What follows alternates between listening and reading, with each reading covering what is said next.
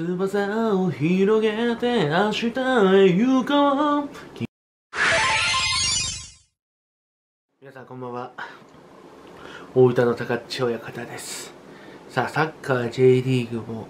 ストーブリーグに入りました。ね気になるのは移籍情報でございますね。まあ補強チームいろいろあると思います。引きこもごもの季節でございます。本日収録は2019年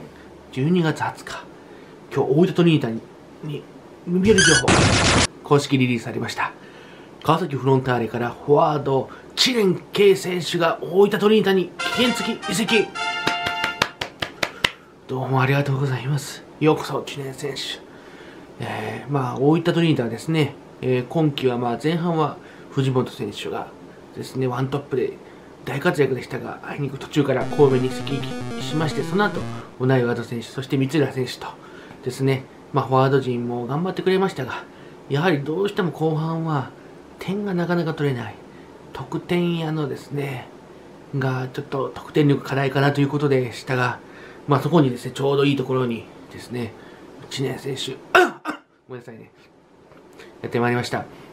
まあですね、まあ、私も名前は伺ったことがございますし、非常にも、まあ、ネット見る限りすごい素晴らしい選手と、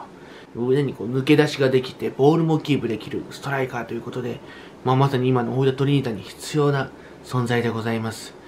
ですね、知念選手と片野坂監督のですね、まあ、組み合わせというか化学反応がすんごい楽しみなんですよ。ありがたいことに本日、新しくまたスポンサー様の継続や新規がございました。本当にありがとうございます。またユニフォームのパンツのスポンサー様には引き続き、ネットワンシステムズ株式会社様がスポンサーに選ばれました。そして鎖骨のですね、スポンサー様にですね、今回初めてですね、サインポスト様がスポンサーとして契約していただくことになりました。本当にありがとうございます。各2つのですね、スポンサー様につきましては、下の動画のコメントですね、概要欄にリンクも掲載させていただきたいと思います。ぜひあの皆様ですね、えー、どうか5000円のほどよろしくお願いいたします。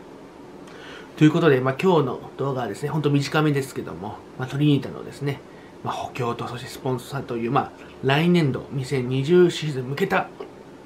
お知らせでございました。またですね、何か皆様にお伝えしたい情報がございましたら、えー、ご紹介したいと思います。最後までご視聴いただきありがとうございます。もしよろしければチャンネル登録やいいねボタンよろしくお願いいたします。それではまた。